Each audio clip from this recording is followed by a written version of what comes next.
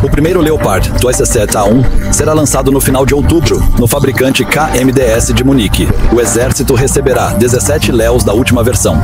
A diferença mais importante em relação ao modelo anterior é o troféu do sistema de proteção ativa da distância.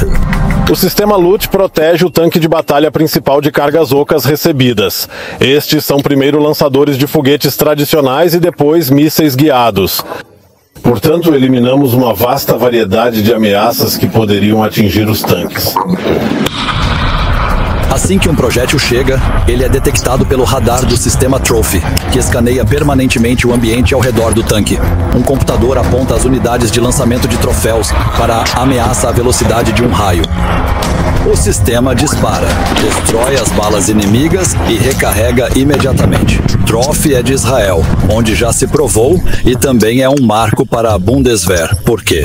Agora introduzimos o primeiro sistema uh, Hard Kill para proteger os tanques principais de batalha nas forças, o que por sua vez é um avanço tecnológico para os tanques principais de batalha avançarem. O próximo passo será no próximo ano. Uma estrutura totalmente nova será então apresentada. Leopard 2 a 8. E ele também terá troféus como padrão a bordo.